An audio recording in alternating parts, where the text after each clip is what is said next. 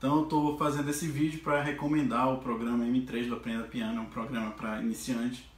Eu não sabia nada de teclado e acompanhando as aulas dele, eu sempre achei que são aulas bem fáceis de entender, bem fáceis de explicar.